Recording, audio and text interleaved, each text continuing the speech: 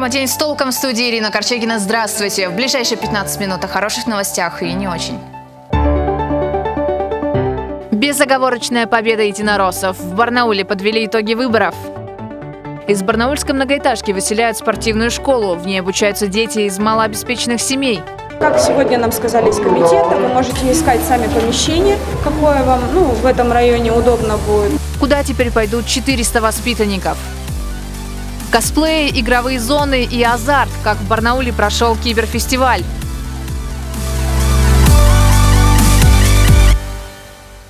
Но вначале о погоде, которая еще утром радовала своим теплом, а к вечеру решила порадовать в данном случае в кавычках сильным ливнем и градом. Ледяные горошины обрушились на жителей Барнаула, в основном индустриального района. Там же затопило и улицу Малахова. Под мостом, вы видите, вообще образовалось озеро. Здесь вновь работает откачивающая техника. Не может проехать общественный транспорт, глохнут автомобили. Почему ливневая канализация не справляется? Вопрос риторический, ведь о проблеме коммунальщики знают. Подобное происходит каждый раз после проливных дождей. К другой теме – тишь да гладь. Иными словами, без конфликтов. Так, по мнению председателя Краевой избирательной комиссии Ирины Акимовой, прошли выборы 8 сентября в Алтайском крае. Собственно, этого от них и ожидали. Насколько были активны избиратели, представители какой партии празднуют победу и действительно ли было все так гладко, расскажем прямо сейчас. Жители были активны как в районах края, так и в городах. Хотя эти выборы нельзя назвать масштабными. В Барнауле на участках ждали лишь часть жителей железнодорожного района. А вот желающих проголосовать было значительно больше.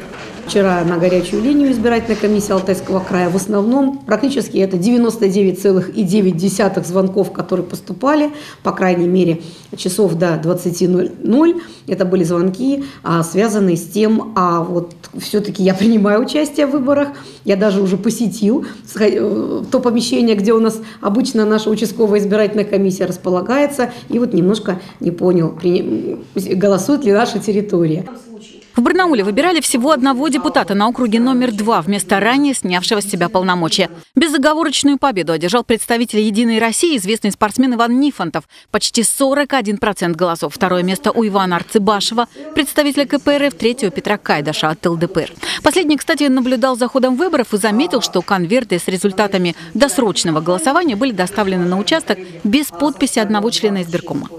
Принято решение участковой избирательной комиссии, а, связанное с тем, что если есть какие-то сомнения хотя бы в наличии одной подписи, то тогда признать все бюллетени недействительными, извлеченных с этих конвертов. Эту ситуацию Ирина Акимова назвала рабочей и отметила, что к нарушениям ее отнести нельзя. В целом, по мнению краизбиркома, выборы прошли спокойно. На дополнительных ВКЗС по округу номер два победу одержал Владимир Репкин, больше 43% голосов. Второе место у КПРФ, на третьем справедливоросы. Партия власти праздновала победу и в Бийске. На довыборах в Гордуму по округу номер два победил Александр Казаков. По округу номер шесть плавчиха Жанна Нечитайла. К слову, триумф единороссов нельзя не заметить, как и новые лица, принимая принимавшие от них участие в кампании. Не просто так э, по мановению волшебной палочки, достаточно глубокий анализ был э, по кандидатам, прощупывание, опрос, анализ – а еще была стратегия, которая заключалась в тесном контакте с избирателями, резюмировало местное руководство «Единой России». Поэтому три четверти избирательных мандатов у них. В ближайшие дни в краизбиркоме подведут окончательные итоги выборов, ведь они будут считаться завершенными лишь когда почитают расходы бюджета на их проведение. Татьяна Голубева, Александр Антропов. День с толком. В Барнауле из многоэтажного дома выселяют спортивную школу. В ней занимается 400 детей из малообеспеченных семей. Спортклуб расположен в подвале дома, и там же в подвале находится изношенная труба с горячей водой. Коммунальщики считают, что такое соседство опасно для жизни, но родители, тренеры и сами дети с этим не согласны. Кто прав, пыталась разобраться Полина Жданова. Дмитрий и Данил, мастера спорта по боксу, достигли успехов благодаря ежедневным тренировкам в ДЮСШ номер 10. Но боевой настрой рушит возможное переселение из родного спортклуба. Негде будет готовиться, негде будет тренироваться. Если просто помещение дадут, то там ничего нету. В этой школе тренируются малоимущие дети бесплатно, поэтому родители и тренеры муниципальной спортшколы забили тревогу, когда сибирская генерирующая компания предписала им выселиться из-за изношенных и перегруженных теплосетей в подвале. А вот и яблоко раздора, те самые тепловые магистрали, которые по каким-то причинам находятся внутри помещения, хотя по всем правилам такие опасные трубы должны располагаться под землей. По словам собственников этих теплосетей, сейчас нет необходимой территории, чтобы их перенести. Зато есть полномочия расформировать бесплатную секцию, потому что, по словам тех же собственников, эта труба угрожает безопасности и здоровью детей. Тепломагистраль появилась в подвале еще в советские годы, а в 90-е в помещении открыли ДЮСШ. В этом году на уже изношенные магистрали увеличится нагрузка, и угроза порыва возрастет.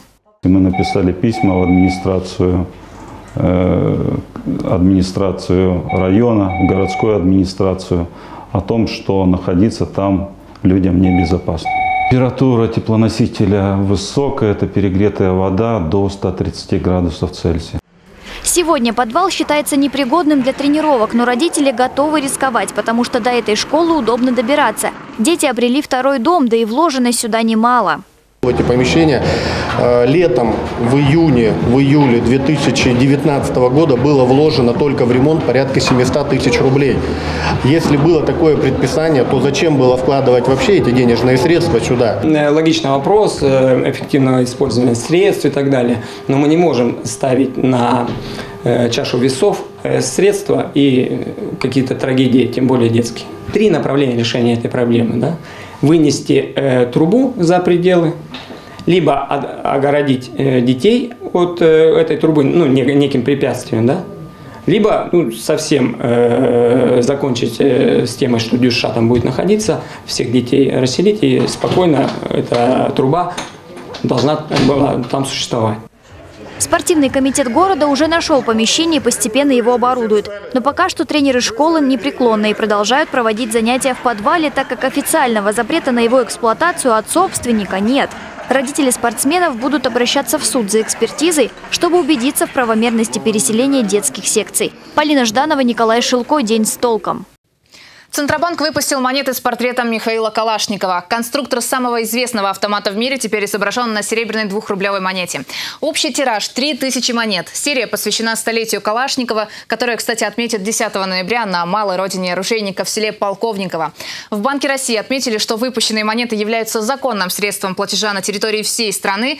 Первые монеты на днях вошли в оборот. И, кстати, в интернете уже появились перекупщики, которые предлагают приобрести вот такую двухрублевую монету Калашникова за 4-5 5 тысяч рублей.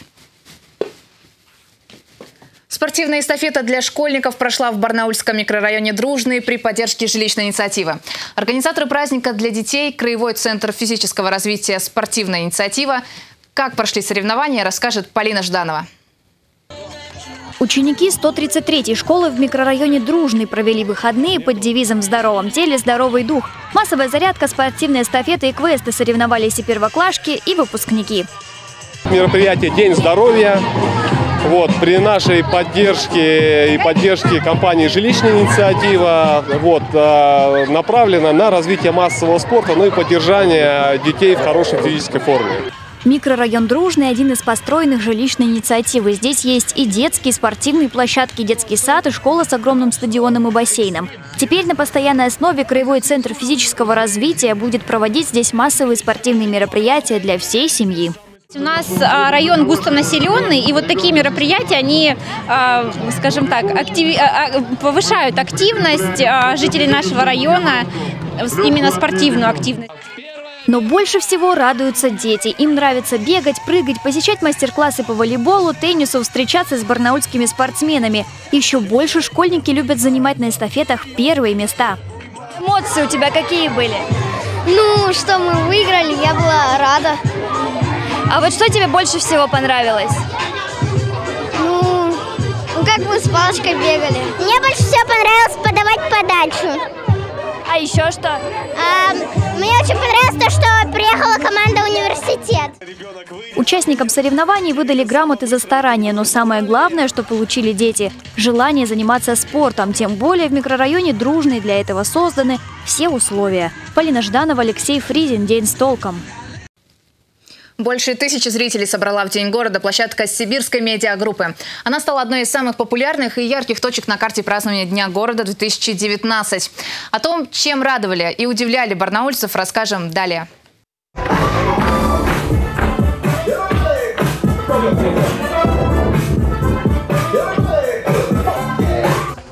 Песни, танцы, веселье и радость. Сцена сибирской медиагруппы стала подарком барнаульцам на день рождения их города. А в день рождения, как известно, дарят лишь самое лучшее. А потому барнаульцев радовали яркие танцевальные коллективы, а также зажигательная кавер-группа «Зизи Поп».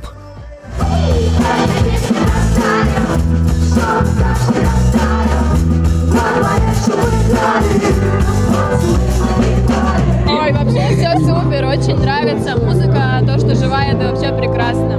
Настроение классное. С днем рождения, Барнаул! Но и рядом со сценой было чем заняться. Работала фотозона, где все желающие могли сделать модное 3D-фото. Агентство недвижимости «Жилфонд» предоставило возможность барнаульцам помечтать, нарисовав или раскрасив квартиру своей мечты. Здесь же можно было бесплатно сфотографироваться с Хаски и в течение нескольких минут получить готовый магнитик с фото. Автоцентр «Реал» провел розыгрыш призов среди владельцев автомобилей марок «Субару». Погода просто маленько подвела, а так все замечательно у нас. Как бы все организовали на высшем уровне. За Субару. Кульминация программы – народное караоке. Сотни барнаульцев спели хором любимые песни, а кто петь не хотел, с удовольствием потанцевал.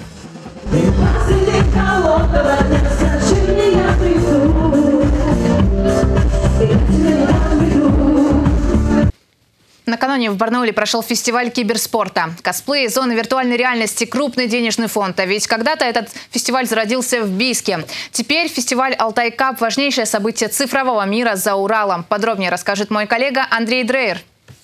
Копа миду, копа миду, у них авика нету. Понять, что они говорят, могут только фанаты. В ДК города встретились четыре мощнейших сибирских команды по киберспорту. Только в этот раз финал турнира «Алтай Кап» перерос в настоящий киберфестиваль с косплеем, игровыми зонами, конкурсами и подарками. Так расширять присутствие цифрового спорта на Алтае решил депутат Государственной Думы Александр Прокопьев, главный организатор турнира. Все началось три года назад в моем родном городе, Бийске Алтайского края. А, небольшая площадка, география участников турнира была Алтайский край и Республика Алтай. Зрителей набиралось ну, не более 50 человек. Сегодня мы во Дворце культуры нашей краевой столицы города Барнаула. И сегодня в этом зале не хватает мест для всех желающих.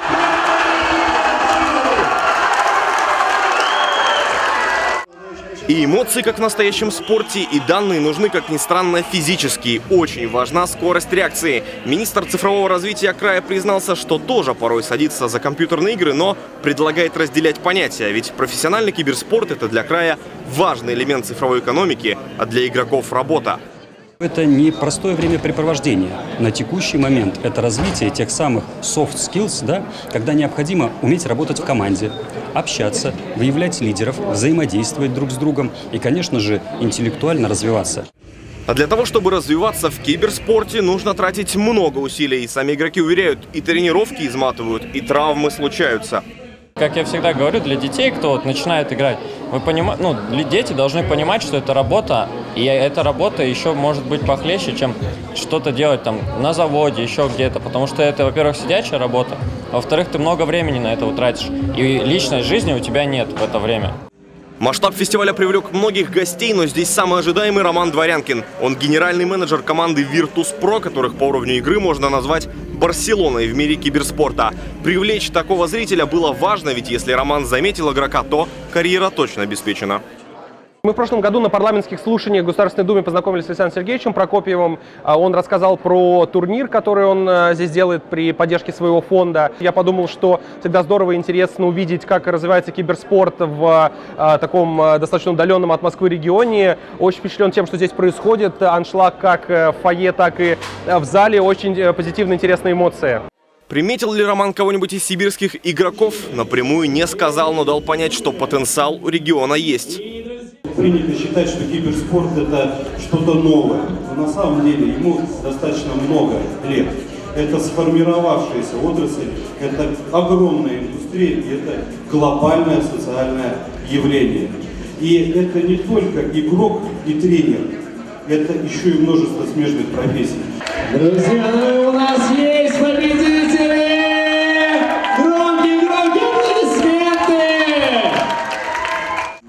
Участники турнира разделили призовой фонд в 150 тысяч рублей.